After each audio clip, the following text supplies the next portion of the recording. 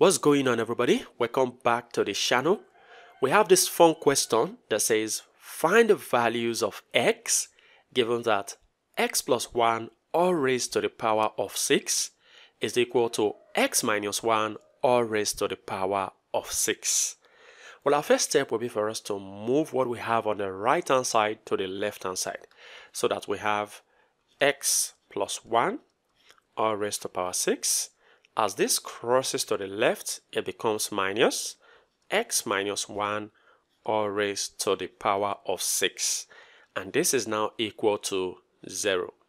Now we can introduce substitution by saying that let this, which is x plus 1, be equal to a.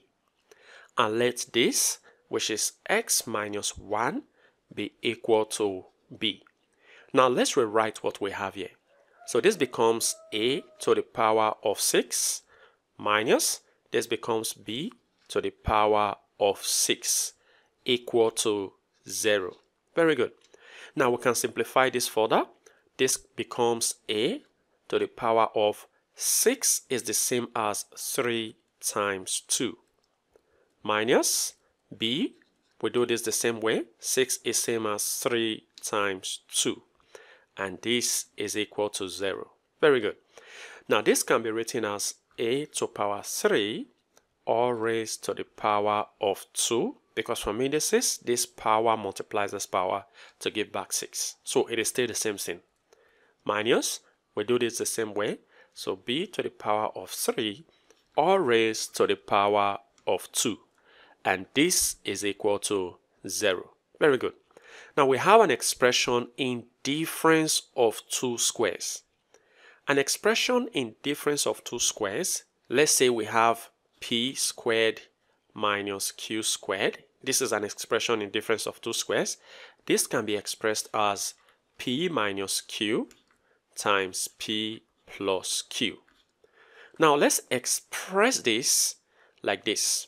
So in this case, if we have to compare, that means our p is a cube and our q is b cube. Comparison. Now, this expression in difference of two squares now becomes a cube minus b cube times a cube plus b cube. And this is equal to 0. So we have two cases here we have the first case we have a cube minus b cube to be equal to 0 or for the second case we have a cube plus b cube equal to 0 so we're going to be solving this case by case. So we're going to start with this first case and then we move to the second case. So notice that from this first case this is an expression in difference of two cubes. So this is our case 1. Our case 1 is an expression in difference of two cubes, which can be written as a minus b times a squared plus ab plus b squared. Very good. And this is equal to 0. Now recall that a, let's recall, because we're going to be putting that back. So recall that a is equal to x plus 1 and b is equal to x minus 1. So let's bring them back. So a is x plus 1 minus b. So minus b, b is x minus 1. Very good. So this is inside of a bracket times, so times a squared. a is x plus 1 squared plus a times b. So that will be x plus 1 times x minus 1, that is our x a times b. So plus b squared, which is x minus 1 all squared. Very good. And this is equal to 0. Now simplifying further, what we have inside of this parenthesis will then be x plus 1 minus x, and then negative times negative is positive 1. Very good. Times. Now let's expand what we have here. So expanding this, we have x squared plus 2x plus 1. Very good. And now plus. Now look at what we have here. This is an expression in difference of two squares. So expanding this will result to x squared minus 1. That is it. Plus, now expanding this expression, we have x squared minus 2x plus 1. And this is equal to 0. Now notice something, that x minus x is gone. So we have 1 plus 1, which is 2, times. Now, x squared plus x squared plus x squared is 3x squared. Now we have 2x here, so 2x minus 2x is gone.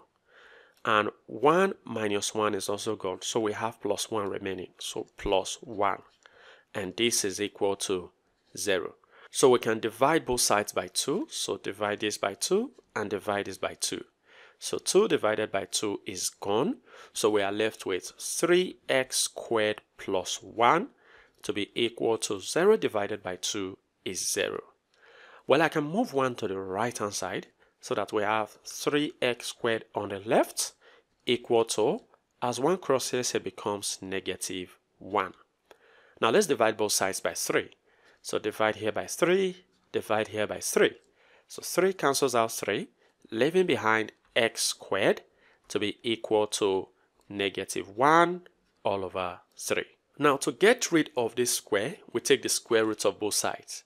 So I'll take the square root of x squared equal to plus or minus, I'll take the square root of negative 1 all over 3. Now notice that this square root cancels out the square, leaving behind x to be equal to plus or minus. Now let's simplify this. This is the same as the square root of 1 over 3 times negative 1. So this now becomes x equal to plus or minus. Now we're going to write this one separately. So the square root of 1 all over 3 times the square root of negative 1. Now this becomes x equal to plus or minus the square root of 1 is 1 all over the square root of 3. 3 is not a perfect square, so we're going to leave it inside of the square root. So all over the square root of 3 times the square root of negative 1 is i. So we can decide to rationalize. So x will be plus or minus. When we rationalize, we're going to have the square root of 3 all over 3i. So there are two values of x from here, of which the first one is the positive square root 3 over 3i, or the second one is equal to negative square root 3 all over 3i. Very good. Now let's move on to our second case. So our second case, which is case 2, is where we have a cube plus b cube equal to 0. Now, this is a sum of two cubes which has an identity of a plus b times a squared minus ab plus b squared. And this is equal to 0. Now, let's recall again that our a is equal to x plus 1 and our b is equal to x minus 1. Now, let's plug this in here. This is a, which is x plus 1 plus b. So plus b is x minus 1. Now close bracket. Now open bracket. This is a squared, which will be x plus 1 all squared minus a times b. a is, I'm going to be opening a bracket for this. a is x plus 1 times b is x minus 1. Very good. And then plus b squared is x minus 1 all squared. Now close bracket equal to 0. Now simplifying further, x plus x is 2x. Now 1 minus 1 is gone. Times, now for what we have here, I'm going to be opening a good bracket here. So a square bracket. We can expand this to be x squared plus 2x plus 1. And then minus now, this is an expression in difference of two squares. So I'm going to be putting it in parentheses because of this negative here. So expression in difference of two squares is x squared minus 1. Very good. And then plus, on expanding this, we have x squared minus 2x plus 1. And then close brackets equal to 0. So simplifying further, we have 2x times x squared plus 2x plus 1. Now using this negative to open up this bracket, we have negative x squared. Now negative times negative is positive, 1, and then plus x squared minus 2x plus 1 equal to 0. Very good. Now we can also simplify further. This is 2x times, now watch, x squared minus x squared is gone. Now we are left with just this x squared, so x squared. And then 2x minus 2x is gone. Now we are left with 1 plus 1 plus 1, which is 3. And this is equal to 0.